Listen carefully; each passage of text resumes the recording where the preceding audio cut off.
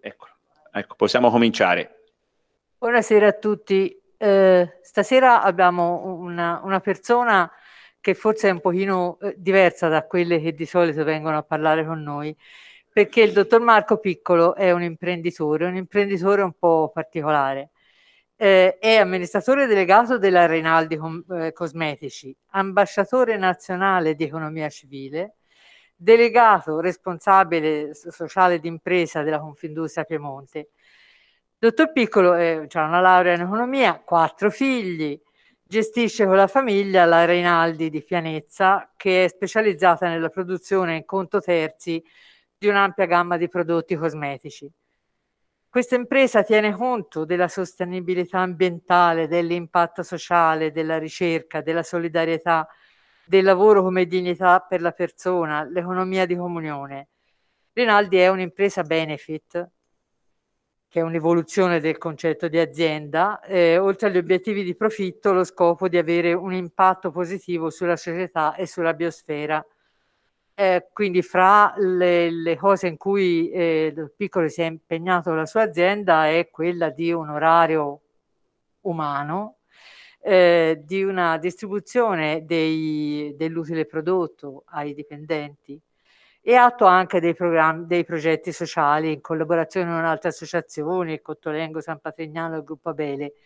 E poi c'è un'iniziativa particolare nel Burkina Faso, ma quello che sottolinea, noi l'abbiamo letto e l'abbiamo sentito in interviste, quello che sottolinea è nessun assistenzialismo cioè eh, sono, questi progetti sono per insegnare il lavoro, per dare opportunità. Allora a Marco Piccolo chiediamo di raccontarci come fare in termini, di termini come sostenibilità, dignità del lavoro, economia di comunione, eccetera, un impegno quotidiano di impresa, arricchito nel suo caso dal, da un robusto credo cristiano eh, il titolo della lezione che sta per tenerci è L'imprenditoria, motore economico, culturale e sociale al servizio del territorio. Gli faremo una serie di domande perché mi sembra ci, sia tante, ci siano tante cose che possiamo imparare e che possiamo farci spiegare da una persona che è sul campo in questi problemi. Prego, dottor Piccolo. Grazie, grazie dell'invito. Allora, io sono Marco, ho 47 anni, quattro figli, eh, faccio l'animatore in parrocchia, insomma, eh, poi mi ha, mi ha, già presentato. Eh, se volete possiamo interromperci, quindi in qualsiasi momento, sia da casa che qua, se avete voglia di fare una domanda, vorrei più un dialogo ecco, che una lezione. Io l'idea che ho è vi, faccio, vi presenterò l'azienda, dal punto di vista proprio economico, come una presentazione che potrei fare anche un cliente. Poi vi racconterò sempre nella presentazione che cosa applichiamo di sostenibilità e di etica in azienda e poi chiuderò la presentazione, da lì se vogliamo approfondire possiamo anche approfondire il perché delle scelte aziendali, imprenditoriali, le scelte umane, vocazionali. Ecco, quello però sta al vostro interesse, a quello che volete. Io direi parto velocemente con una mini presentazione aziendale, però qualsiasi momento, tanto tu Massimo leggi, se, ci, se qualcuno da casa vuole interrompermi, volentieri, ecco.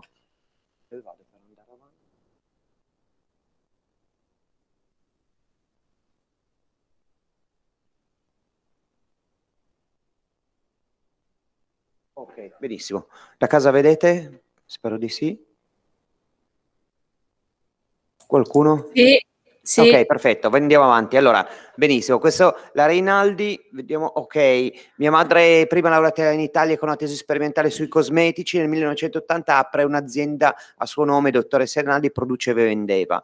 Poi nel 96 eh, facevo il primo anno di economia e commercio, la mia ragazza rimane incinta, eh, ci sposiamo, mia madre mi mette a tenere la contabilità in azienda, e da lì scopro che i negozi non marginavano abbastanza perché noi non avevamo la capacità di vendere, ma eravamo bravi a produrre e formulare. Per cui ci siamo dedicati al conto terzi, vuol dire produrre per nome e conto di altri.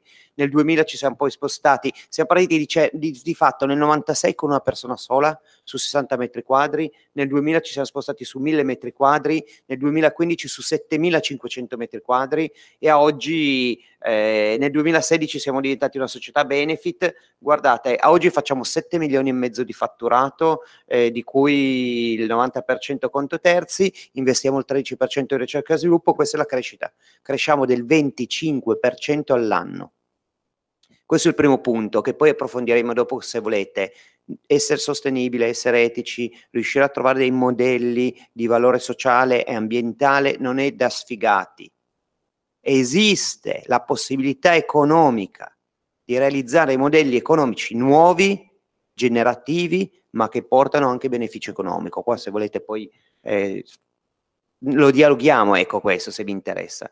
Poi altri numeri, guardate l'occupazione, c'è una persona sola, l'anno scorso eravamo in 28, adesso qua c'è 52, in realtà oggi siamo già a 59, cioè le, le presentazioni sono, sono, in continuazione e prendo dei manager dalle multinazionali che vengono a lavorare da me e rinunciano a, a quote di stipendio pur di lavorare da me questo è un altro punto. E tenete conto che le aziende piccole italiane, l'80% di aziende eh, italiane, che è la stessa struttura di quella tedesca, in Germania l'80% sono managerializzate. Il problema delle aziende d'Italia è che sono padronali, mancano manager. Perché? Perché non abbiamo il potere economico di prendere grandi manager che stanno nelle multinazionali.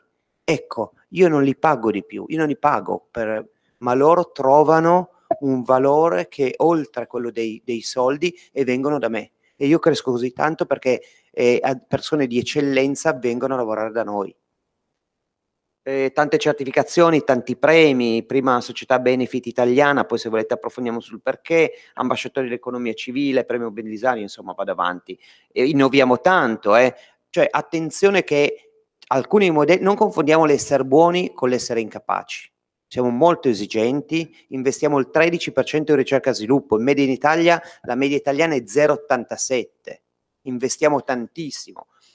Questa è mia madre, noi sviluppiamo le formule, i clienti vengono, ci dicono devo fare una, un, una linea che vada in quel mercato, in quel settore e noi sviluppiamo tutto, partiamo da zero, facciamo i campioni, i test, la stabilità, tutto poi dopo andiamo in produzione, abbiamo turboemulsori, poi facciamo il confezionamento e diamo full service, il cliente riceve il prodotto che poi vende a suo marchio. Ecco, questa è una nostra linea, dottoressa Renaldi, quella originale di mia madre. Ecco, allora, primo punto importante, 2016.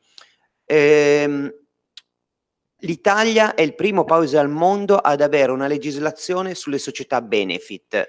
Che cosa sono le società benefit? In realtà il modello precedente, eh, quello attuale in vigore ancora, dice che da una parte ci sono le profit che hanno come obiettivo quello di massimizzare gli utili per i soci. Quindi l'unico obiettivo che si dà ai manager è quello di massimizzare gli utili. Dall'altra parte abbiamo le no profit che hanno come oggetto sociale quello di avere ricadute positive sul territorio e sulla società. Ecco, Porter, che è un economista americano, dice ci sono problemi irrisolvibili nel mondo l'alfabetizzazione, la fame e altro. E dice, alcuni soggetti operano localmente, le no profit, ma sono, ma sono soggetti non scalabili, cioè non possono avere impatti, sono sempre piccoli, c'è la cooperativa, sono sempre piccolini. Cioè i grandi impatti o le fanno le multinazionali che hanno dei numeri enormi, altrimenti non ne usciamo. Ecco, allora lui dice c'è un vuoto qua in mezzo. Ecco, Forse se le aziende profit iniziassero a, ad agire non solo per la massimizzazione dei profitti, eh, ma anche per avere una ricaduta sociale ambientale positiva, potremmo risolvere i grossi problemi nel mondo. Faccio un paradosso, faccio sempre questo, e tecnicamente è sbagliato, ma per darvi un'idea. Nel 2050 ci saranno più pesci, nel, più pezzi di plastica negli oceani che pesci. Ok? I tappi della Coca-Cola sono in plastica, vi potrei far vedere sulle isole, eh, ci sono delle isole piene di plastica, albatros che muoiono perché mangiano la plastica, ok? Abbandonata. Perché la Coca-Cola non fa i tappi biodegradabili? Sapete perché? Perché gli costerebbe 0,01 centesimo in più. E sapete perché non lo fa? Perché voi cont- continuate a comprare la Coca-Cola anche se i tappi non biodegradabili. Primo punto. Cioè, le aziende oggi lavorano per il profitto. Vi dico una cosa che dice sempre Leonardo Becchetti, eh, che ha aperto anche un sito I on Buy, cioè noi consumatori siamo i responsabili, perché quando acquistiamo eh, o col, col, non acquisto possiamo orientare le scelte del, del, delle aziende. Se da domani nessuno comprasse la Coca-Cola, finché non cambia i tappi, nel giro di un mese la Coca-Cola cambia tutti i tappi.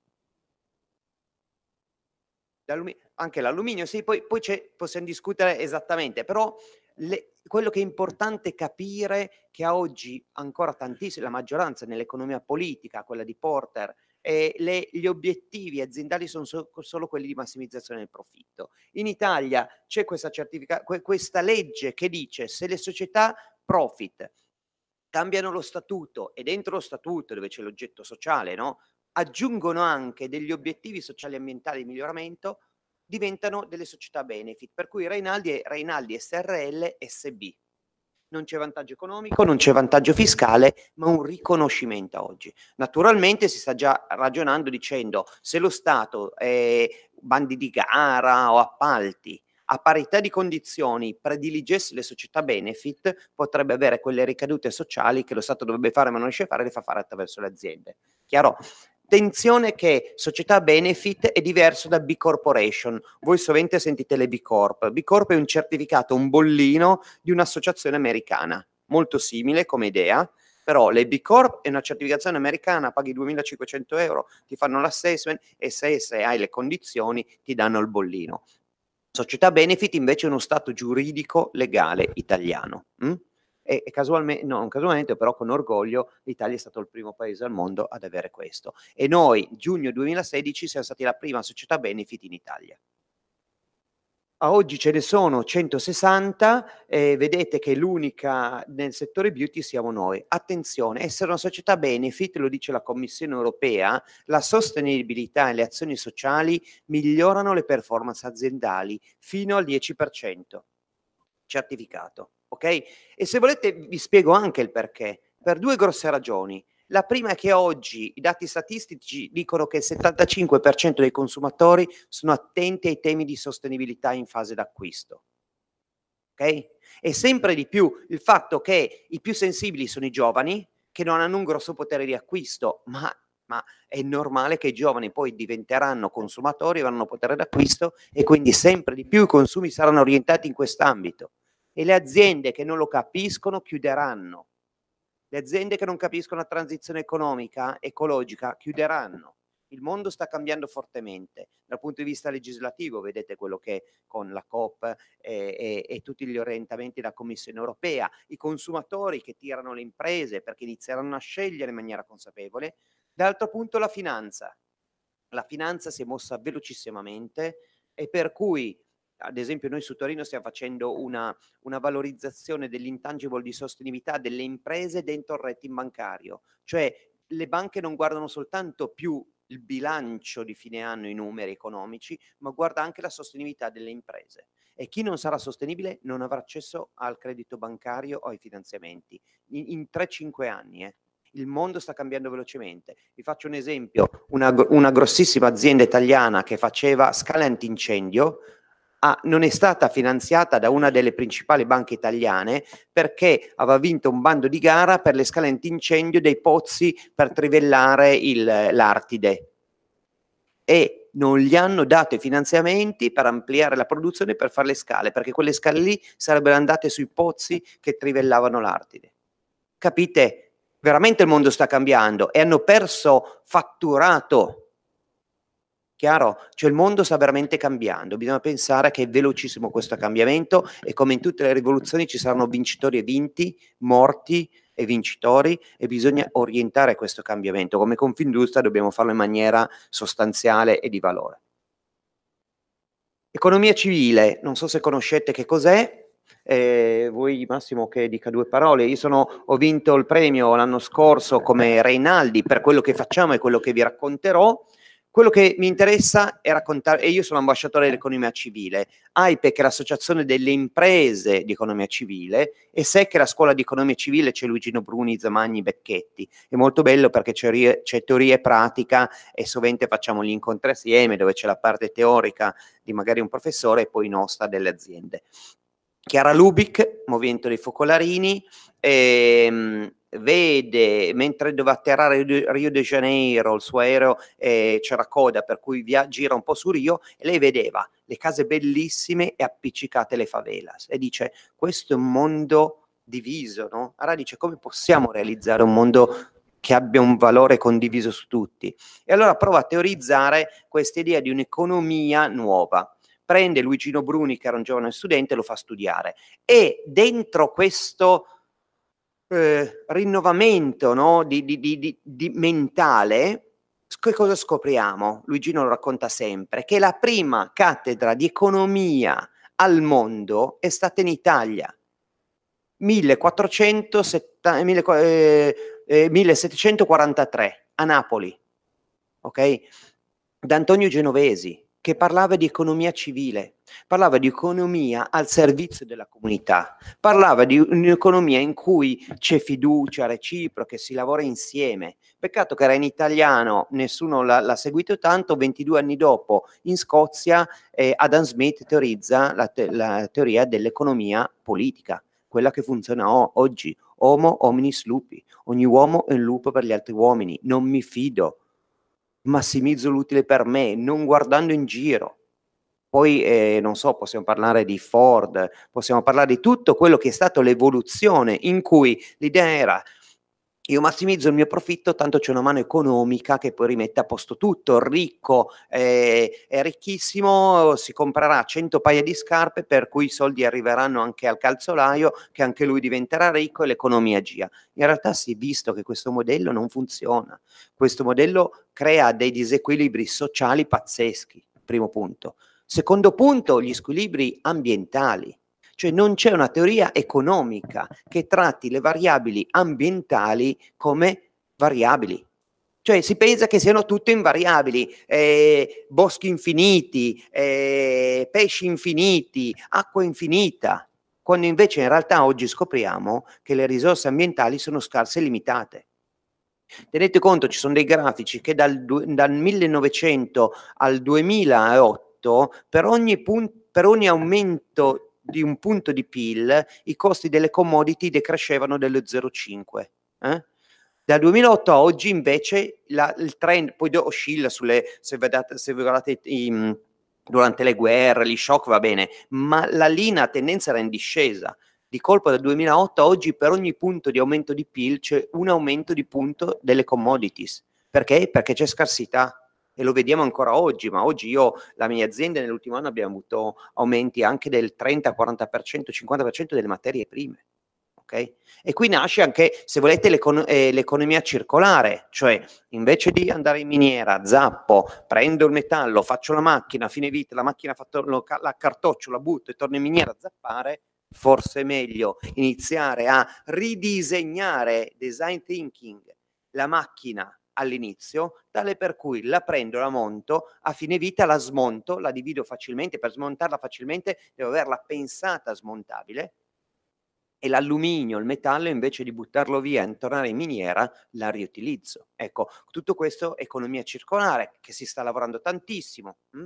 Ehm, per tornare sull'economia civile, quindi eh, i punti sono variabili sociali e ambientali. Tenete conto che la sostenibilità, poi c'è una scheda, quando parliamo di sostenibilità, la sostenibilità non è quella ambientale. Quando l'azienda vi dice, ah, io sono sostenibile perché questo è una flacone in PET riciclabile, una cavolata. La sostenibilità è solo quando contemporaneamente gli aspetti sociali, ambientali ed economici sono sostenibili. Se anche ne manca solo uno, non si è sostenibili.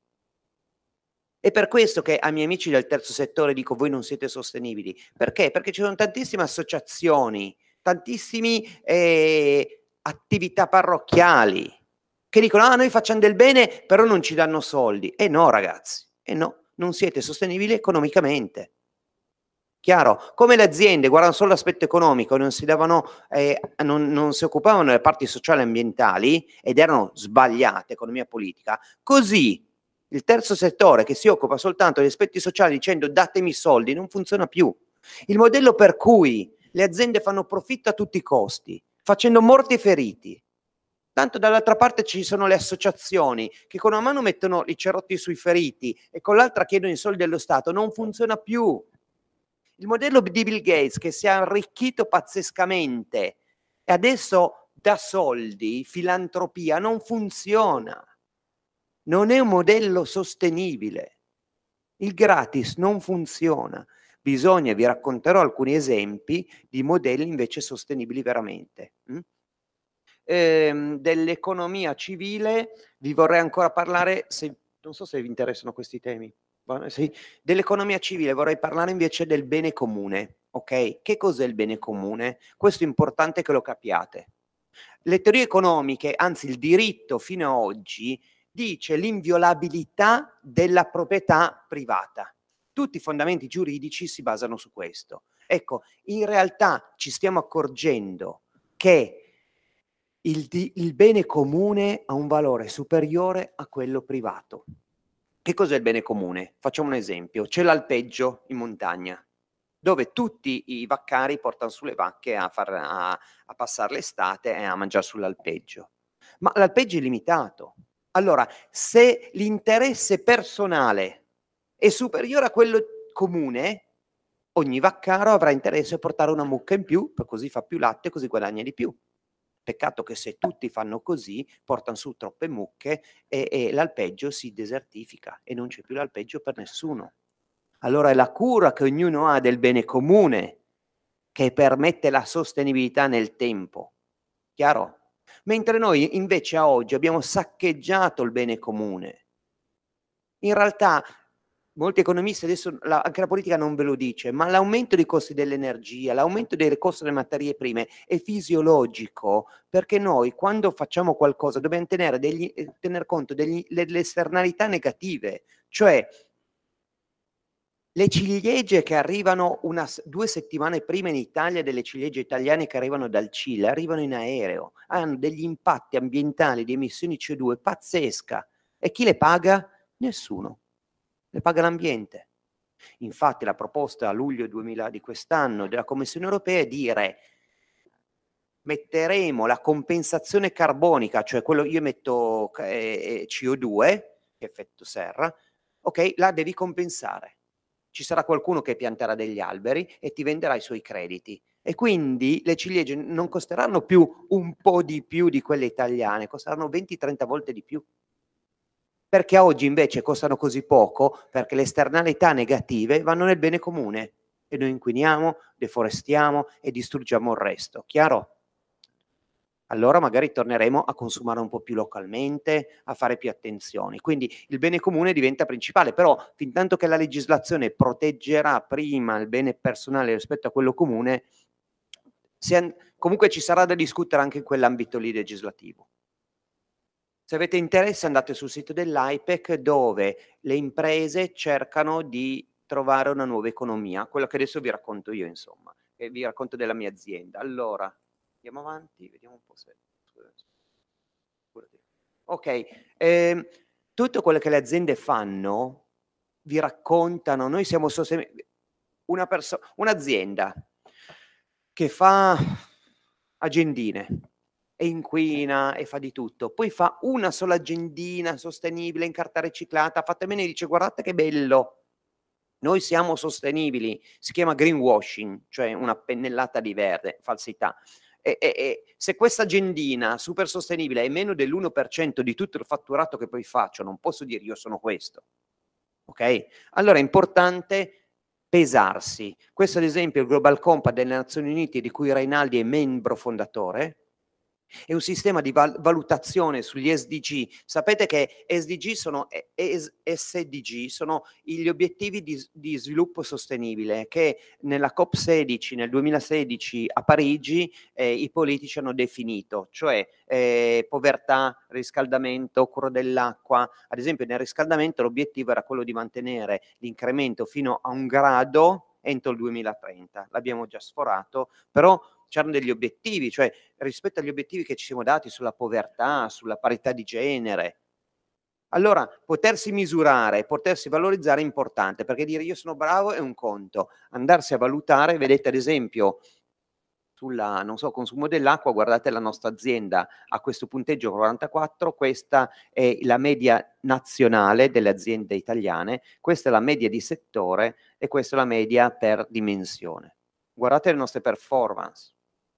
Queste sono numeriche, ok? Attenzione alle persone che dicono noi, noi, noi. Vediamo i numeri facciamo i seri, perché poi raccontare la storiella che noi facciamo questa agenda bella, attenzione perché molte aziende oggi sono, fanno molto greenwashing. Perché? Perché io vi dico che la mia azienda è super sostenibile, la nostra agenda è super sostenibile, così voi comprate questa mia agenda. E sappiate che recentemente c'è stata una sentenza di un tribunale di Gorizia che ha già condannato per falsa comunicazione greenwashing un'azienda. Ok? Inizieranno su questo, quindi attenzione, non dobbiamo essere neanche all'occhi, ma si dice siate prudenti, siate, siate candidi come le colombe, ma, ma furbi come i serpenti, eh? cioè non siamo degli allocchi, eh, ragazzi, ok? Quindi anche la valorizzazione e valutazione delle imprese è importante. Ehm, novembre 2021, quindi adesso, la Commissione europea ci ha identificato come best practice europea per la sostenibilità. C'è un documento della Commissione europea che dice, e poi molto più approfondito, questa è solo una scheda, che dice che Reinaldi ha delle politiche di, di sostenibilità eh, insomma, è bellissimo questo, insomma, un riconoscimento.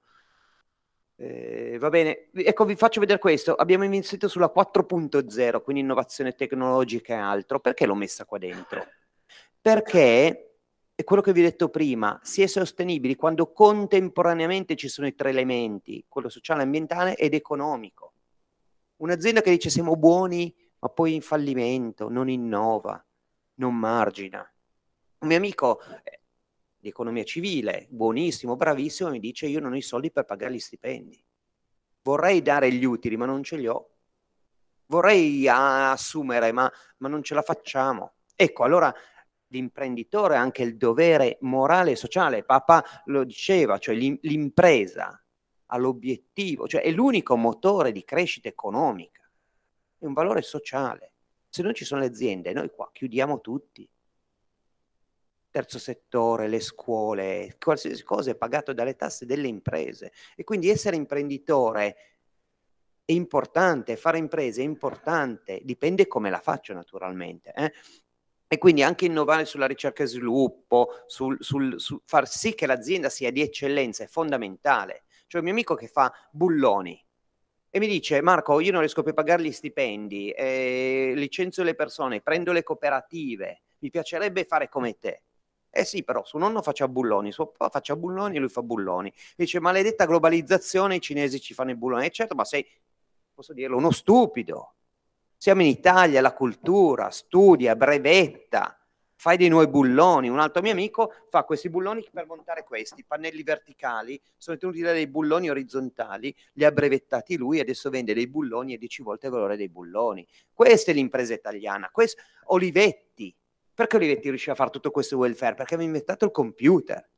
Allora, se noi abbiamo un, una classe dirigente eh, di Confindustria, di, aziende, di imprenditori incolti, senza cultura, che non innovano, che non hanno stimoli, siamo destinati a chiudere.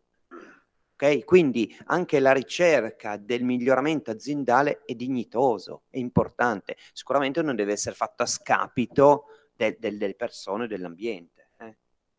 Eh, vediamo un po'. Ok, va bene. Ecco, eh, ad esempio che cosa facciamo? La sostenibilità ambientale. Noi il 97% dei rifiuti li recuperiamo, riciclati, ok?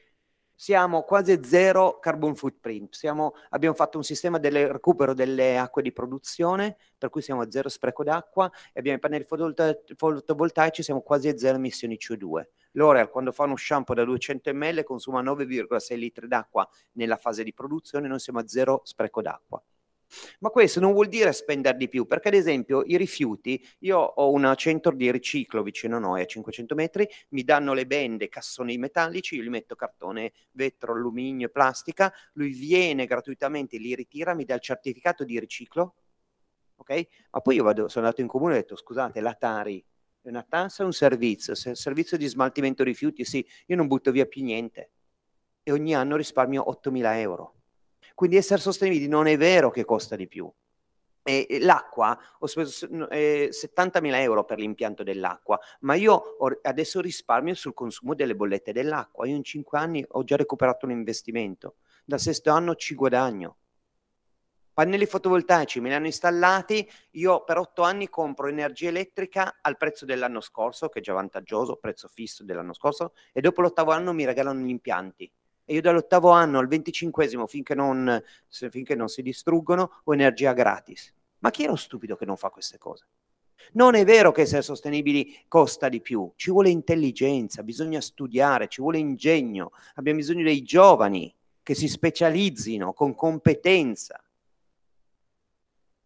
E poi abbiamo tantissimi progetti di economia circolare, cioè eh, soprattutto, fai, fai pure, soprattutto ehm, noi usiamo gli, gli, mm, il waste, eh, gli, mm, ehm, gli, scarti delle filiere alimentari, tipo le viti a fine produzione, eh, le mandorle, tutte le catene di fornitura della, delle filiere alimentari che poi alla fine hanno degli scarti, quello attraverso dei brevetti li ri- recuperiamo e diventano materie prime cosmetiche. Mm? Poi vi racconto un progetto sulle mele che abbiamo fatto, figurati. Eh, bloccatemi se mi interessa. Questa invece sostenibilità, vi ho detto, la prima ambientale, prima economica, innoviamo. Due ambientale, e vi ho raccontato qualcosina. Terzo sociale. Allora, che ad esempio, piccole cose, eh, ma i, le, l'acqua, il caffè, tutte le bevande in azienda sono gratis. Non trovo giusto che uno lavora e deve pagare per un caffè. Eh, laviamo le divise, una sciocchezza. Eh, alle 5 chiudiamo 4 e mezza la produzione chiude e alle 5 chiudono gli uffici e finché ce la farò voglio fortemente che rimanga così, perché io voglio che le persone vadano a prendere figli a scuola, eh, vadano a correre, si leggano un libro. E, e anche questo aspetto sociale del, del, fatto che io sono educatore no, dei giovani, se noi lasciamo i ragazzi a casa fino alle 9 di sera di fronte a un computer, ma come li educheremo? Allora c'è bisogno di un tempo di famiglia in cui i genitori stiano insieme ai ragazzi, di qualità. Ecco, e allora per me mandare a casa i genitori alle 5 è un, un valore sociale. Ok?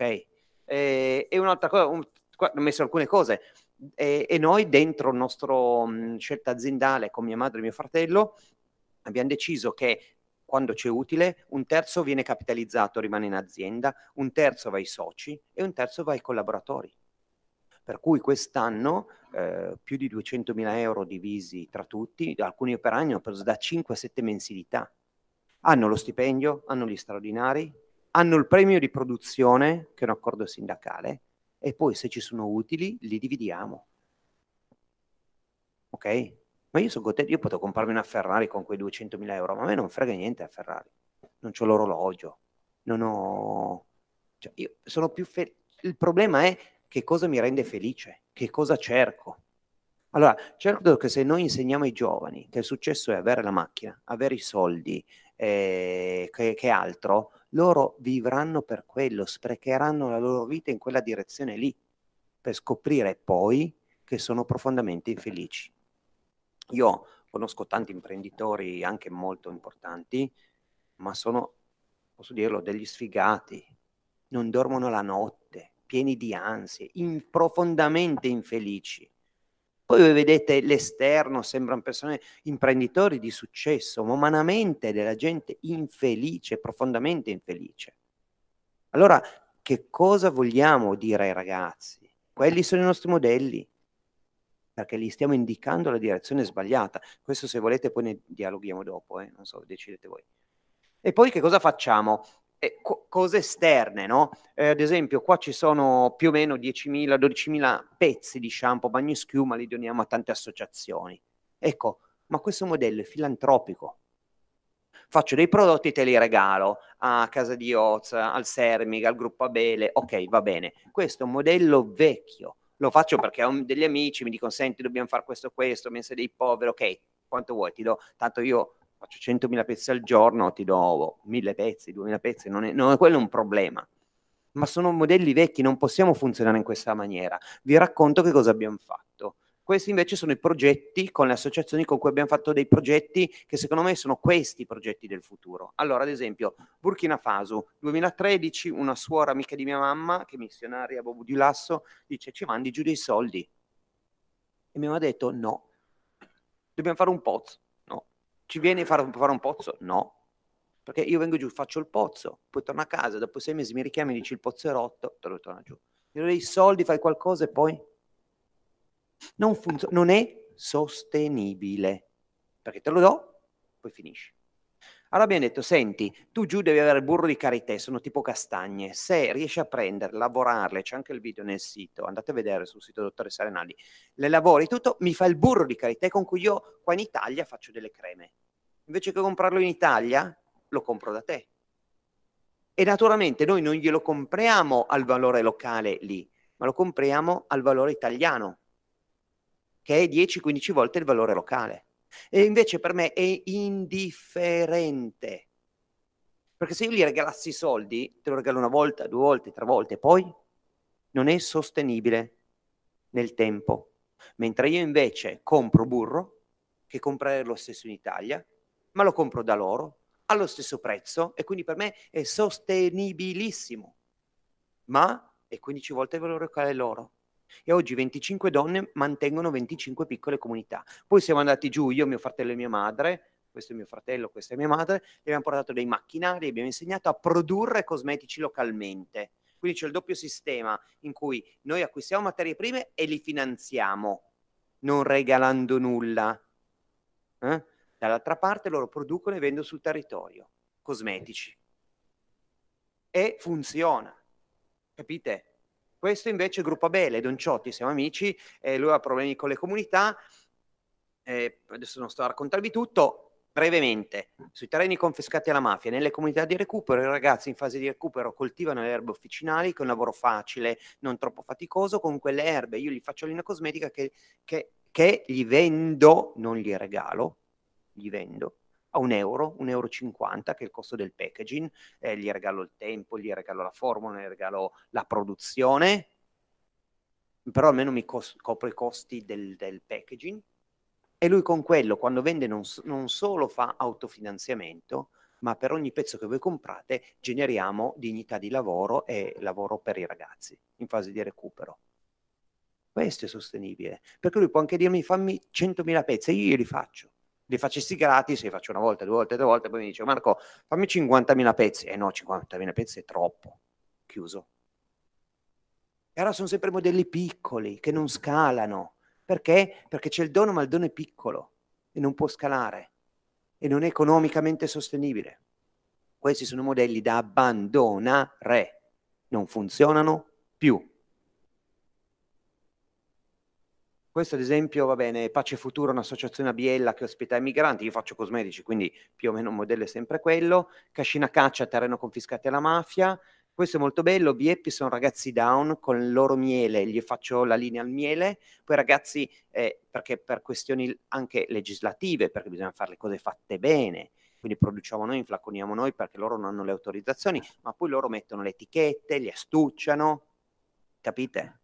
E devono astucciarli bene, etichettarli bene. E voi quando comprate questi prodotti buonissimi a un prezzo buonissimo perché di fatto io li do a prezzo di costo generiamo lavoro, dignità a quei ragazzi che, che, che costano allo Stato, vengono mantenuti. Qua hanno un lavoro e vengono pagati ok?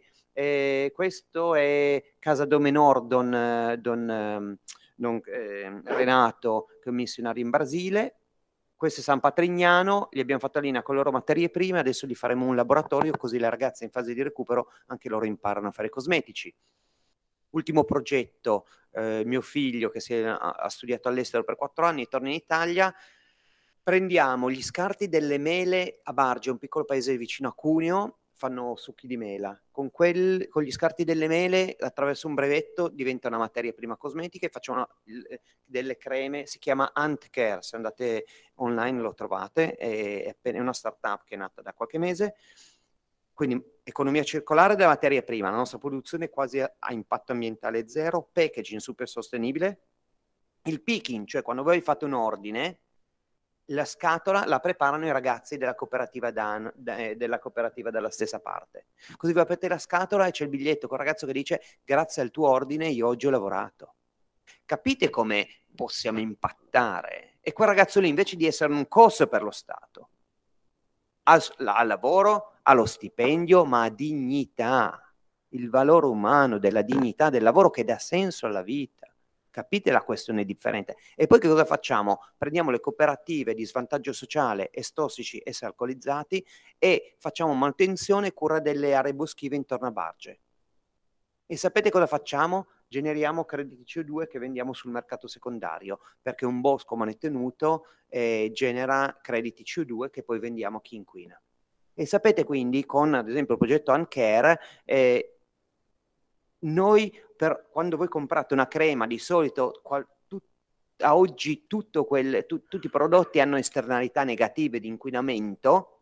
Con Uncare è il primo prodotto forse al mondo che invece migliora l'ambiente e migliora la società. Perché quando voi comprate un cosmetico facciamo utili un profitto onorevole. Cutrugli, 1473, era un mercante di Firenze eh, che parlava proprio dell'arte della mercatura e diceva un profitto onorevole. Noi dobbiamo arrivare a quello perché il profitto ci vuole per pagare le persone, per investire, per fare, ok? Un, un profitto onorevole, ma che genera impatti ambientali buoni, quindi boschi migliori, eh, economia circolare, quindi invece che buttare gli sprechi li rivalorizziamo, impatti sociali, i ragazzi down che fanno il picking, i ragazzi di vantaggio sociale che fanno cura del verde, wow, si può fare, si deve fare, ma ci vogliono menti nuove.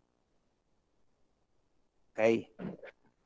Eh, mi sa che ho finito. Poi qua c'è il mio, miei, se volete su LinkedIn scrivo tanto, quindi se volete poi collegarvi e leggere qualcosa, insomma, eh, questo più o meno è una breve presentazione, non so se era quello che volevate, dell'azienda. Poi se volete approfondire i temi o, o umani oppure aziendali, quello che volete. Eh, direi che questa è stata un'esposizione vulcanica che ci ha lasciato eh, in parte senza fiato.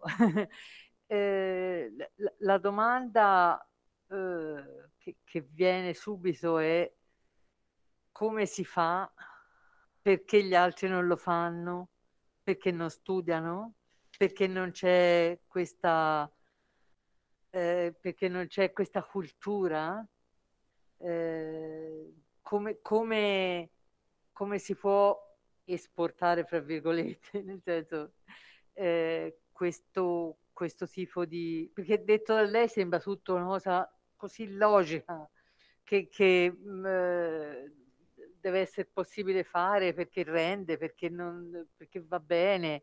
E, e, ecco, che cosa manca? Lei ha detto prima che probabilmente alla classe imprenditoriale manca cultura. Olivetti lo diceva, eh, l'impresa è lavoro e cultura. Se non c'è lavoro e non c'è cultura, non c'è impresa. Allora, il primo punto è questo. Eh, allora, io sono nato in parrocchia, il mio prete è fantastico, il mio padre spirituale che è veramente un vulcano, ecco, non eravamo scout, ma facciamo le imprese, facciamo di tutto. Io sono nato e vivevo in parrocchia, tant'è che quando ho scoperto che la mia ragazza era incinta, io ero settimana vocazionale Valdocco per capire se dovevo diventare prete, ecco, quindi io avevo una forte vocazione. Ehm, poi appunto mi sono sposato perché la mia ragazza era incinta, è nato Simone, e lì ho iniziato a lavorare nell'azienda di mia madre ed era il primo anno di economia. Ho lavorato per tre anni in contabilità in un sgabuzzino senza finestre a fare contabilità, intanto vedevo i numeri e, e, e, poi dopo e studiavo la notte, tornavo a casa alle otto e mezza di sera, cenavo e poi fino all'una alle due di notte studiavo tutte le sere. E in otto anni mi sono anche lavorato in economia. Quindi in ordine sparso, ma abbiamo fatto poi tutto bene, eh? matrimonio, figli e laurea, però in ordine sparso. La prima questione è ehm, che io, lo dico sempre, posso dirlo, aspiro alla santità. E ehm, mh, per aspirare alla santità c'è bisogno di ascesi, cioè tutti curano il corpo e poco lo spirito. Eh, io tipo vado 3-4 volte all'anno in monastero a fare un po' di silenzio, a chiarirmi le, le idee, ecco. Però le, eh, per, per, as, per ascendere ci vuole unità di spirito. L'etimologia di diavolo è diavallo, divisione. Mm?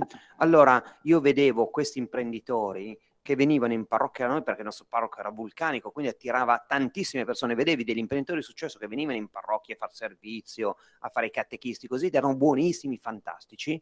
Poi lunedì entravano in azienda e diventavano delle bestie terribili. E io mi sono interrogato su quello. Sei due persone contemporaneamente, sei padre di famiglia buono di qua e di là sei duro e, e, e freddo quello è diavolo, diavolo, divisione, l'anima si strappa. Come fai a scendere in questa maniera? Perché? Perché è difficile, ragazzi, perché essere imprenditore e dover chiudere a fine anno i conti e che magari non funzionano, che magari non ci sono i soldi e dire non ci sono i soldi, ti mando a casa. Oppure eh, c'è qualcosa che non funziona e dire hai sbagliato, ho bisogno che tu lo faccia bene. È difficilissimo. E allora per proteggerti umanamente devi essere duro perché è difficilissimo riuscire a rimanere sempre empatico, a spiegare il perché, ad avere la pazienza. È difficilissimo, è un'impresa eroica proprio. E, e io ho cercato di fare quello, cioè di trattare le persone che lavoravano con noi come se fossero miei figli o ragazzi della parrocchia, ecco. Poi siamo partiti, abbiamo avuto la fortuna, sono un'azienda che c'era una persona sola, quindi le persone che entravano con noi mangiavamo assieme, stavamo assieme, andavamo al, a, a, bere la birra assieme, ancora oggi i, i, miei, noi una volta al mese facciamo le feste insieme, eh, andiamo a mangiare assieme al ristorante, cioè non c'è quella divisione tra imprenditore e, e gli operai. Mio fratello tutto il giorno in produzione, quindi la prima cosa è questa, cioè capire chi sei tu, primo punto, e, e poi la, la, cosa era questa, io so che vivrò una volta solo nella mia vita e io voglio una vita bella.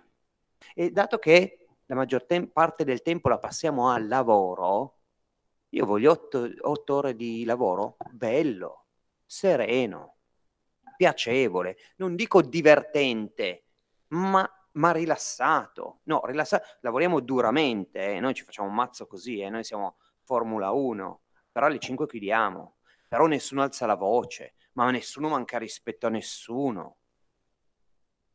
Cioè si può essere molto molto esigenti dalle persone perché capite che se il, flacco, il, cosmetico deve arrivare al consumatore con l'etichetta dritta e il tappo ben chiuso, io non posso accettare che qualcuno mi etichetti le etichette storte o lasci il tappo aperto perché poi il cliente non mi paga e chiudiamo. Quindi noi siamo, i clienti sono esigentissimi. Ma essere esigente da un ragazzo che è appena arrivato e dire guarda che tu il tappo lo devi chiudere bene, lui magari non lo chiude bene, non ti permette di insultarlo o di trattarlo male. Però ti dico chiaramente con educazione che se tu non riesci a chiudere il tappo bene, 30 tappi al minuto come fanno tutti i tuoi colleghi, tu vai a casa. Mi spiace. Perché altrimenti mi costi più di quello che guadagniamo.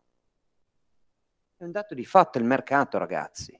E mentre una volta eravamo noi europei con la pancia piena, i cinesi e gli orientali morivano di fame, oggi che anche loro vogliono avere il diritto di mangiare qualcosa di più di una ciotola di riso al giorno e si sono messi a lavorare, o noi ci diamo una sveglia qua in Italia o chiudiamo. Allora gli italiani o competiamo sulla qualità, sul valore aggiunto, ma le aziende che stanno chiudendo, che fanno prodotti che non hanno valore aggiunto, bulloni o altro, o gli italiani, a parte che abbiamo un costo del lavoro che è 10 volte quello cinese, per cui già stiamo in perdita, ma in più se abbiamo delle persone che no, con calma, non mi stressare, io ho avuto dei ragazzi che hanno dato le dimissioni perché a giugno volevano andare in vacanza con gli amici, che mi dice, sai, io tutti gli anni andavo in vacanza con gli amici, ho detto andavi, adesso sei grande, lavori, noi facciamo tre settimane agosto. Lui dice, non ho io i miei diritti. Allora io non c'ho neanche discuto in quei casi lì, ho detto, senti, vabbè, se vuoi stasera, se vuoi andare in vacanza, stasera vieni, mi dai le dimissioni, poi vai in vacanza a giugno con i tuoi amici, ma a settembre non ti, non ti riassumo più. Ha dato le dimissioni, perché la pancia piena. Verremo sbranati, io dico sempre ragazzi all'università, verremo sbranati dagli altri. Allora, o abbiamo intelletto, o abbiamo cultura, o abbiamo arte, valore aggiunto, oppure, ma dobbiamo farci un mazzo così. I genitori stanno crescendo generazioni di ragazzi infelici dove gli dicono che i soldi sono la felicità, la macchina grande è la felicità, stare sul divano è la felicità. Non gli insegnano il dovere delle cose, la fatica, la perseveranza, la pazienza.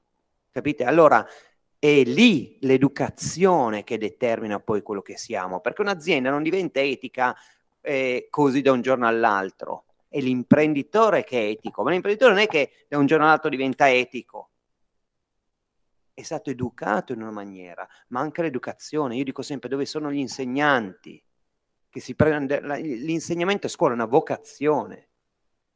Parrocchia, dove sono i Don Bosco?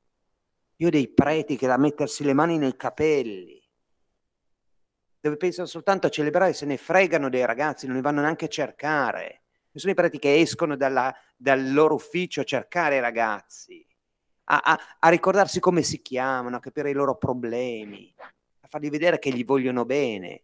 E poi dove sono i genitori? Allora, come facciamo a cambiare una società così, se ci mancano queste basi, capite?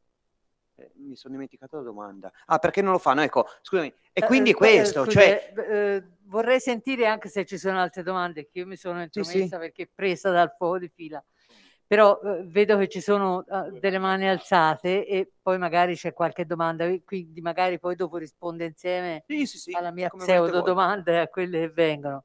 Eh, sentiamo quelli collegati che eh, hanno alzato la mano e poi se c'è qualcuno in aula.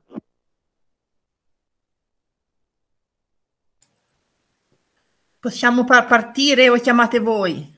Vai. Allora, io sono, mi chiamo Chetti, sono una docente di religione delle scuole medie e da tre anni eh, all'interno del si mio... Sente poco, puoi metterti più vicino, più sì, vicino al microfono, non si sente bene. Sì, dicevo, così va meglio? Parla Perché... forte. Allora, dicevo che io sono, mi chiamo Chetti e sono un insegnante di religione delle scuole medie e da tre anni sto portando avanti un percorso di economia etica eh, all'interno dell'educazione alla cittadinanza. Eh, sono in collegamento proprio col, con l'Oppiano, con la Beatrice Cerrino che mi manda del materiale e vedo che i ragazzi sono molto molto interessati, vengono fuori delle belle cose, però ci manca un collegamento anche con le aziende come voi, che sia per una testimonianza anche diretta, no? a cui i ragazzi possano fare domande. Io parlo già dalle medie perché sono veramente in grado di capire questo tipo di, di percorsi e sia anche offrire eh, perché ora con, um, con, i collegamenti multimediali la, le distanze si sono molto molto abbreviate, quindi offrire anche dei piccoli percorsi da poter riprodurre all'interno delle scuole. Voi fate niente in questo senso? Sì, sì, sì, io passo più tempo nelle università in giro a raccontare che, che da altre parti, però se vuoi prendi contatto con l'IPEC nazionale, c'è il sito e fai eh. richiesta e Ah, IPEC? IPEC, c'era nella slide quella dell'economia civile, a Ancona, Imola, Perugia e Empoli Como. È l'associazione, de, è, è l'associazione degli imprenditori della scuola di economia civile. Sì, grazie. Domenico Dattoli.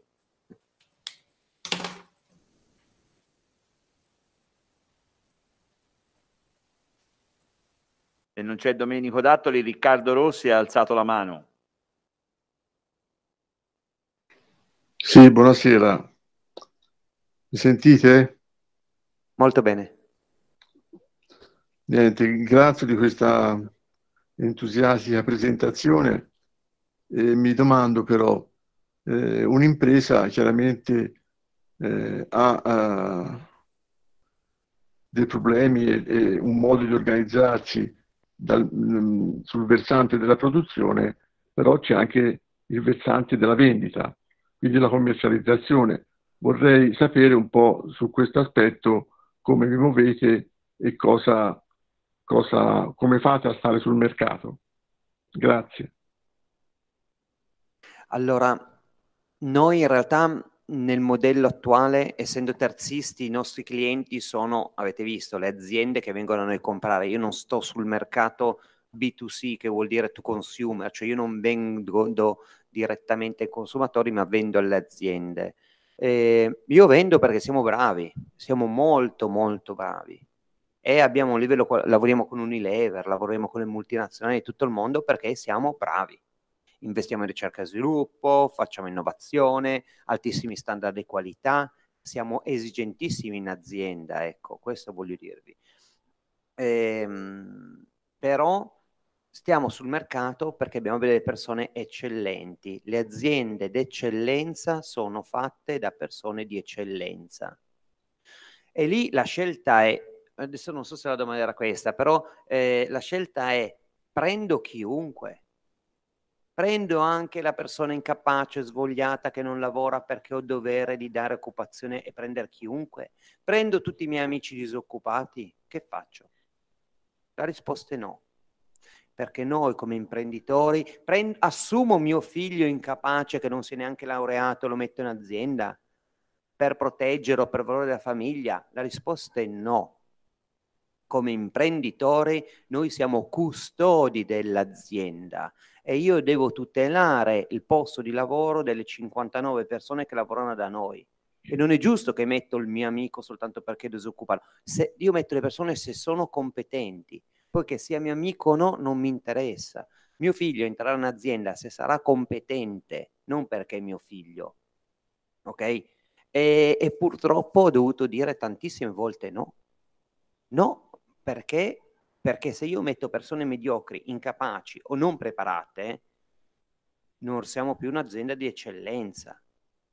E, e ne risentono poi anche tutti gli altri. È un senso di giustizia. Mm? Ehm, sul mercato devo dirvi che, ad esempio, la linea dottoressa Reinaldi che avete visto, perché noi siamo Reinaldi Conto Terzi, ma c'è dottoressa Reinaldi con la Y, che è il marchio che mia madre aveva quando ha fondato. Ecco, lì trovate la linea del Burkina Faso. E voi sapete che quando comprate uno di quei prodotti buonissimi, aiutate il progetto del Burkina. Eh? Ecco, sappiate che eh, è la linea più venduta da noi. Perché a oggi tutte le aziende puntano sugli impatti ambientali, dice siamo sostenibili ambientalmente, perché? Perché hanno messo, dato che vogliono vendere di più, cercano delle, de, qualcosa da raccontare di sostenibile per vendere di più. Questa plastica è riciclabile, ok? Perché? Perché è più facile. Ma in realtà le statistiche dicono che i consumatori sono più sensibili agli aspetti sociali, solo che gli aspetti sociali sono difficilissimi. Cioè, non è che compro le, le, le, le polo e aiuto l'orso bruno, l'orso bianco, oppure ti do un centesimo. Questi sì, sono progetti sociali un po' così. Ma capite quanto sono distanti da quelli che stiamo facendo noi? Cioè fare un'economia che, dicevo, che genera un profitto dignitoso e contemporaneamente genera pro- benefici sociali e ambientali. Non faccio profitto e distruggo l'ambiente, faccio profitto e impoverisco le persone, oppure faccio profitto e poi do qualche soldino a qualcuno. No, no. Faccio un sistema economico che contemporaneamente genera profitto, beneficio sociale e ambientale. Questo è il futuro. Si può fare. Mi permetto di, di aggiungere una cosa, se mi sentite. Sì. Io ero più sul versante il profitto, diciamo, uh, corretto, giusto, diciamo così, tra virgolette, è dato da due, da due fattori, no? dal costo di produzione e dal ricavo dalla vendita. Allora dico, i ricavi dalla vendita li fissate voi, partecipate con delle gare, ci sono dei prezzi di mercato che imponete, oppure è un problema di, di libero mercato, siccome siete bravi, eh, vengono a comprarvi a qualsiasi prezzo oppure eh, cose diverse. Ecco, volevo sapere un po' questo aspetto qui, ma grazie. Allora, in un mercato libero il prezzo di vendita è determinato dal mercato e dalla competizione. Qual è la questione, giustamente? Che il ricavo, l'utile, è la differenza fra i costi, che sono sempre quelli, e il prezzo di vendita. Il mercato riconosce i prezzi di vendita in funzione del rapporto qualità-prezzo. Quello che vi dicevo prima, cioè eh, tenete conto, adesso non voglio andare nel tecnico, diciamo che l'utile prima delle imposte, ok, si chiama EBITDA, eh, è, è, interessante perché voi dovete guardare non le aziende per il fatturato che fanno, ma per l'utile. Allora c'è EBITDA su fatturato, due aziende che fanno tutte e due 100.000 euro, però alla fine una a 1.000 euro di utile e l'altra a 50.000 euro di utile, fanno stesso fatturato. Allora questo rapporto è importante. Le aziende cosmetiche terziste italiane hanno un ROS, eh, EBITDA su fatturato, di 3.5, vuol dire che per ogni 100 euro di vendita gli rimane 3,50 euro di utile ante imposte. Noi abbiamo 15 Quel 15 lì, che è quattro volte la marginalità delle altre aziende nella media di settore, è fatto perché, perché innoviamo, perché facciamo prodotti di altissima gamma, diamo dei servizi altissimi e chi vuole lavorare con me mi deve pagare di più. Ma non mi paga di più perché gli dico che sono di economia civile, perché divido gli utili, perché sono buono, perché progetto in Burkina. Lo faccio perché lo fanno perché gli do un prodotto migliore. Tutto qua. Ok? Quindi per riuscire ad avere utili, perché non basta essere buoni, bisogna avere utili per distribuirli. Perché dei miei amici che, che, che sono buoni, buonissimi, non fanno utile, quindi non distribuiscono nulla. E mi dicono non ho neanche i soldi per pagare gli straordinari. Si guardano tutti assieme, anche delle cooperative, vabbè, ma sono del... è brutto dirlo, eh, sfigati se permettete di nuovo. Cioè, non funziona così. Ci vuole intelligenza, fare prodotti ad alto valore aggiunto, che servizi di qualità, puntualità, mettere le etichette dritte, ok? È un mercato ormai spietato. È la globalizzazione, signori, eh? Allora bisogna stare sul mercato ed essere migliori del mercato per avere utili per poterli ridistribuire. Okay? E quindi bisogna essere molto esigenti. Quindi il, il, il, stiamo sul mercato, i ricavi delle vendite sono determinati dal prezzo di mercato, non, non, non puoi inventarti di più. Non è che io vi dico, eh, alcune statistiche dicono che i consumatori sono attenti ai temi della sostenibilità in fase d'acquisto e sono disposti a prodor, a, ad acquistare prodotti sostenibili. Voi sareste disposti ad andare sul sito del dottoressa Rinaldi a comprare prodotti Rinaldi se non hanno un costo d'acquisto superiore al 10% in più. Perché io vi dico, questo prodotto è normale, questo è sostenibile, ma questo costa 5 volte di più. Bello, ma non lo compro. Normale, no? Allora la capacità anche di realizzare i prodotti che abbiano dei valori intrinseci sociali e ambientali, ma che però non costino al, non più del 10%, altrimenti poi il mercato non te lo riconosce e non ti acquista. Domenico Dattoli, e poi se c'è qualcuno anche in presenza.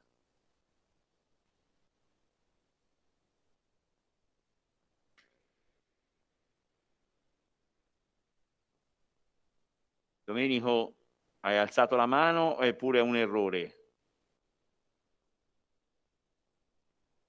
il microfono spento, per cui presumo sia un errore, fatto un errore lui nella... C'è nessun altro che vuole... Ecco, ci sono altre due mani alzate. Francesco Rinaldi, allora. Sì, sarò brevissimo perché l'esposizione è stata entusiasmante, ricchissima di informazioni che ti portano a porre una, una domanda. Voi avete pensato, eh, oppure nell'AIPE, in questa associazione, di costruire del, dei distretti, cioè di incominciare a pensare, oltre a produrre benissimo come state facendo, incominciare a fecondare il territorio eh, attraverso la crescita di incontri, di partecipazione, di collaborazione con altri piccoli imprenditori da far diventare grandi e creare quindi una dinamica di distretto che poi potrebbe essere la carta vincente soprattutto nei momenti in cui c'è da, forzare su cambiamenti eh, produttivi, su interventi nei mercati, diventa una forza d'impatto eh, maggiore dove quello che viene veicolato non è soltanto un prodotto, e già è molto, di grande qualità, ma è un progetto di vita produttiva, un progetto di vita sociale, cioè si fa cultura attraverso l'azienda. Grazie.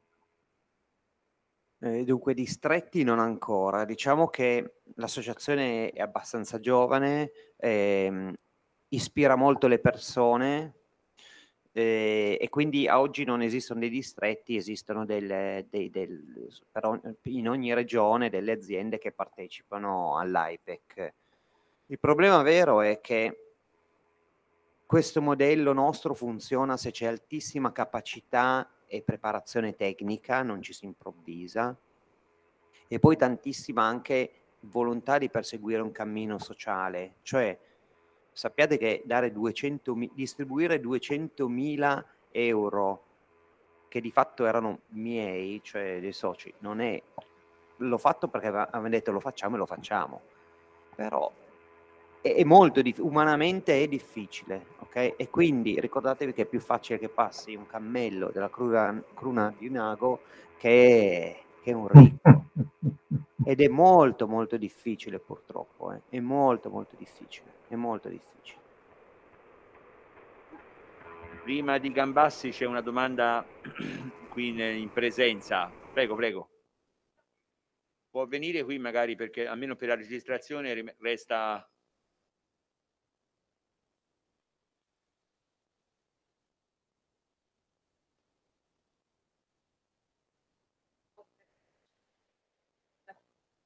se la trifilazione dell'Artico è stata comunque eh, autorizzata, a bloccare una ditta e non bloccare la base serve a poco, numero uno.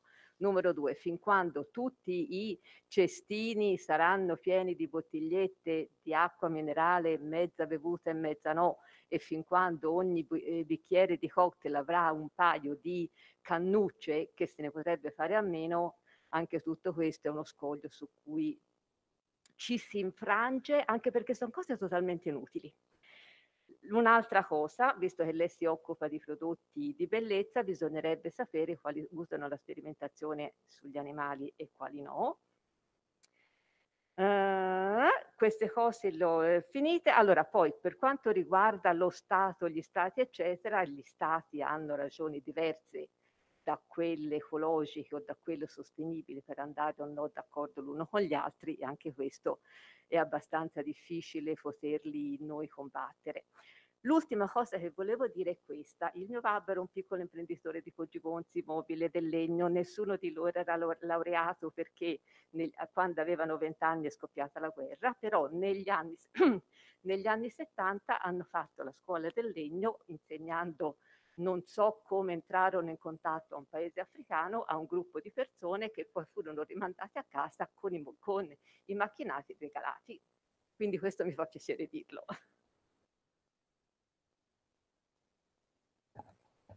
Vediamo se sono in grado di dare delle risposte. Allora, ehm, trivellazioni. Allora, attenzione che le leggi sono diverse dall'economia, cioè eh, ci sono alcuni aspetti, quelli sociali delle persone, le leggi, la finanza. A oggi la finanza sui paradigmi di sostenibilità sta cambiando a una velocità pazzesca. E sul discorso delle trivellazioni, la finanza è così avanti che non ha finanziato quel progetto, mentre le legislazioni, quindi i governi, sono ancora indietro. Stanno recuperando molto, avete visto tutte le proposte, tutto quello che sta succedendo con il nucleare, la tassonomia europea e altro. Ehm, quello che devo dirvi è questo, che ci vuole saggezza in ogni cosa. Mh? Anche in questo momento con la proposta sapete che c'è l'obiettivo di raggiungere la riduzione del 55% delle emissioni rispetto alle emissioni del 2019 entro il 2030 quindi auto elettriche, avete visto tutto questo. Sapete qual è il problema? Che se arriveremo lì, se arriveremo lì, in realtà ci sarà un cambiamento così drastico economico che avremo dei problemi sociali pazzeschi, disoccupazione e povertà. Allora, dove di nuovo? Perché guardano la sostenibilità ambientale, ma è da sciocchi, perché vi ho detto che la sostenibilità è quando contemporaneamente c'è la sostenibilità ambientale, sociale, economica. Stiamo andando contro un muro rispetto alle politiche che hanno i governi identificato adesso perché? perché sono concentrati soltanto sui cambiamenti climatici e quindi drasticamente o giustamente dobbiamo andare lì, ma attenzione che la sostenibilità sociale ci deve essere contemporaneamente. altrimenti fette grossissime del nostro paese avranno dei problemi pazzeschi, eh? Veramente. Quindi dovranno sicuramente riorientare questo e ci vuole saggezza, ci vuole equilibrio ed è difficile, molto difficile su quello. Sul secondo punto delle cannucce, assolutamente sì, siamo in un, in un mondo di consumismo. Vi racconto che Patagonia, che è, quel forn- che è il produttore di abbigliamento americano, che è una B Corp super sostenibili, loro sapete cosa hanno iniziato a dire? Se andando nel bosco eh, ti buchi la giacca strappandotela con un ramo, non buttarla via, non venire a comprare un'altra, vieni da noi e noi gratuitamente te la ripariamo. Perché l'abbigliamento e la moda sono uno dei settori che hanno impatti ambientali più dannosi al mondo. Ok? Questo è. Cioè, in, perché? Perché non c'è come prima scelta quella del profitto, butta via e compra di nuovo un'altra ma dire che senso ha? C'è un buchino, te lo riparo perfettamente. Ok? E quindi dobbiamo imparare a essere un po' più essenziali, perché eh, mi ricordo mio nonno andava a lavoro in bicicletta, non avevano un cellulare, avevano una televisione in bianco e nero, avevano il duplex, non so chi di voi se lo ricorda, erano felici. Ora i ragazzi hanno tre cellulari, la macchina, la moto eh, e sono infelici siamo pieni di roba inutile. Cioè, se l'obiettivo è la crescita economica, a me va anche bene, ma la crescita verso dove? Dove cavolo stiamo andando? Cosa, dove vogliamo crescere? Perché vogliamo crescere? E poi sappiate che il PIL monitora la crescita economica. Se io faccio un buco e lo ricopro, ho aumentato il PIL. Se io costruisco una bomba, aumento il PIL. Ok? Costruisco un fucile, aumento il PIL. Cioè anche le metodi, le metriche di, di valorizzazione sono sbagliate. Si parla di BES adesso, che invece è l'indice della felicità. Però. Il terzo punto, cosmetici. Da sei anni in tutta Europa è vietato i test sugli animali, quindi mentre in precedenza si facevano test sugli animali, prettamente i, i farmaci eh, e poi alcune materie prime, quando scadeva il brevetto, venivano usate anche in, in cosmetica, ma ormai da saranno 7-8 anni e vietati, sono vietati qualsiasi test sugli animali, mentre invece i cosmetici che devono essere importati in Cina devono obbligatoriamente essere testati su animali. Tant'è che alcune multinazio- multinazionali no, ma alcune aziende non vendono in Cina perché altrimenti sarebbero obbligate a testare i loro prodotti sugli animali. Ehm... Bon, penso di aver risposto a tutto. No. Parola a Simone Gambassi. Preghiamo di fare domande brevi in maniera tale sì, da grazie. sentire Mi sentite? Altri che vogliono fare domande. Grazie. Sentite? Mi sentite? Sì, sì, sì, sì. Allora, anch'io volevo ringraziare eh, Massimo per la sua testimonianza. Due domande. La prima è questa. Voi applicate gli stessi criteri di selettività che us- usate per i fornitori, immagino, e anche per i vostri collaboratori o anche per i vostri clienti? Questa è la prima domanda. La seconda è questa. Secondo te il sistema scolastico italiano per arrivare a formare persone adeguate a tutto ciò che tu ci dicevi, di che cosa ha bisogno in particolare. Quindi capisco, ovviamente credo tu sia d'accordo con me nel riconoscere che non è adeguato, stante la situazione. Qual è, qual è la cosa più importante o quelle due o tre cose più importanti che necessitano al sistema scolastico italiano educativo? Quindi io parlo anche dell'università ovviamente, ma anche delle scuole eh, diciamo delle, delle primarie e secondarie. Grazie. Grazie. Allora, ehm, lui è Massimo, io sono Marco. Comunque va benissimo, scherzo. Eh. Allora, primo punto, sì, in azienda proprio, eh, dunque, lo stiamo facendo, l'abbiamo già fatto, lo presentiamo. Eh, martedì noi abbiamo presentato ai commerciali un codice etico che chiederemo ai fornitori di firmare perché ricordatevi che gli impatti aziendali non siamo isole, ma siamo catene di fornitura. Per cui dire io sono buono, non inquino, seguo tutte le regole, poi però un terzista in Tunisia che fa lavorare i bambini di 15 anni sottopagati e inquina, non va. ci prendiamo in giro, è sempre quel greenwashing che vi dicevo prima. Allora, se io voglio essere coerente, imponiamo un codice etico con delle regole sia alle persone che lavorano con noi, sia ai fornitori, ma anche ai clienti. Io ho scritto, adesso qua non ce l'ho, ma potrei far vedere il codice etico, io con certi clienti non ci voglio lavorare. Me lo posso permettere. Noi cresciamo molto, abbiamo grossi margini e io lusso, perché siamo molto bravi, di dire a alcuni clienti non ho piacere di lavorare con te. L'abbiamo già fatto.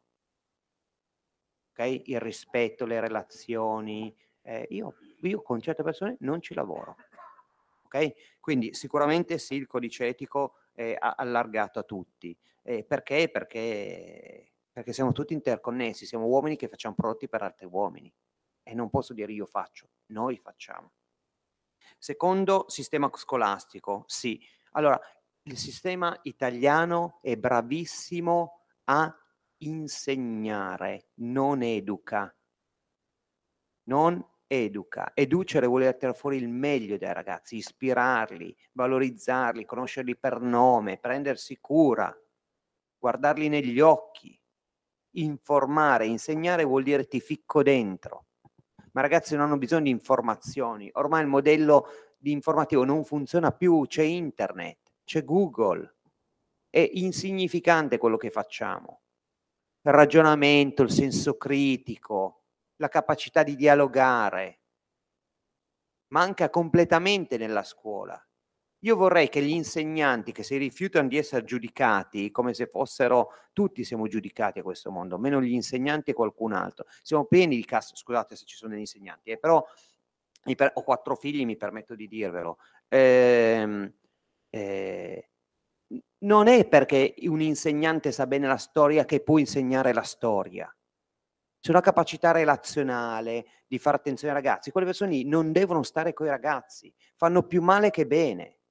Non è perché io gioco bene a tennis che posso diventare un maestro di tennis. Conosco, eh, ma dobbiamo educare la cura delle persone. Certe persone non vanno bene per la scuola, mentre in... tutti quanti. Ma è un dato, è un dato No, no, no, non sto dicendo di valutare, però anche fra, fra, le persone, non tutti possono fare tutto. Eh? Da noi in aziende, in manager, chiunque viene giudicato secondo i risultati che fa. Io, io non sto dicendo, che, non sto, poi non entriamo nel dettaglio, però la questione è che, anche voi lo sapete, a oggi il sistema italiano è, utilizzato, anche la sanità a volte, dovete ricordarvi che prim, prima di tutto purtroppo la Costituzione è stata fatta quando c'era un senso del dovere così forte che la Costituzione è piena solo di diritti. Ma perché? Perché le persone dentro avevano un senso del dovere così forte che davano per scontato. Ora, dai ragazzi in giù, in su, chiunque parla di diritti. Allora, prima del diritto dell'insegnante c'è il dovere verso i ragazzi. Ma parlo degli insegnanti, ma potrei parlare dei politici, potrei parlare della polizia, de, di chiunque, eh, degli operai, dei sindacati, degli imprenditori, parlo di tutti, mi ci metto io per primo. Ma se noi diciamo i miei diritti, no. La scuola è fatta per gli studenti, non per gli insegnanti. Eh. Gli ospedali sono fatti per i malati, non per i medici. Allora, se confondiamo la scuola come bacino di lavori per tenere e dare stipendi è un conto, mentre invece la scuola deve essere la casa degli studenti, dove prima c'è il diritto, c'è il dovere verso gli studenti, poi il diritto degli insegnanti. Okay? Ma scusi, lo dico su tutti, eh, non... ma è normale. Abbiamo dimenticato il senso del dovere del dovere. Io, io ho degli operai anche, pensate, ma soprattutto gli italiani pe- vengono dei ragazzi che non hanno il senso del dovere, il senso della parola, dell'impegno. Perché nessuno gli ha insegnato, i genitori, la scuola, i preti, che sono i tre ambiti. Eh. Adesso parliamo di scuola, non vorrei avercene, ma parliamo anche del, delle imprenditori, è uguale. Cioè l'imprenditore prima di tutto ha il dovere verso le persone che lavorano in azienda. Io ho la vocazione, devo custodire l'azienda, ho dei doveri verso l'azienda. Non posso prendere e andarmene al cinema, usare i soldi per le mie cose perché prima di tutto è la custodia del, de, dell'azienda e delle persone che lavorano con me, prima dei miei diritti. Domenico Dattoli sarebbe l'ultimo che è iscritto a parlare, a fare una domanda. Domenico?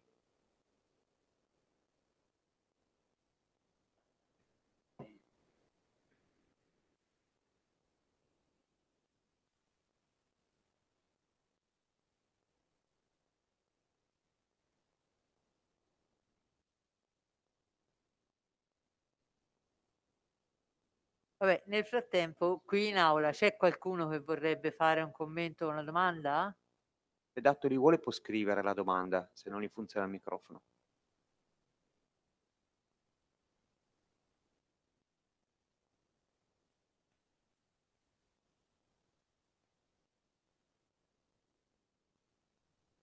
Scusate, quello che posso dire per gli studenti, questa nuova economia è un'economia che alle persone buone può dare una speranza di non essere quei prenditori, ma essere veramente una vocazione fare l'impresa, eh, generatori di beneficio, perché da una parte la Commissione europea dice che le aziende sostenibili hanno ri- risultati di esercizio del 10% superiore alla media, quindi conviene economicamente.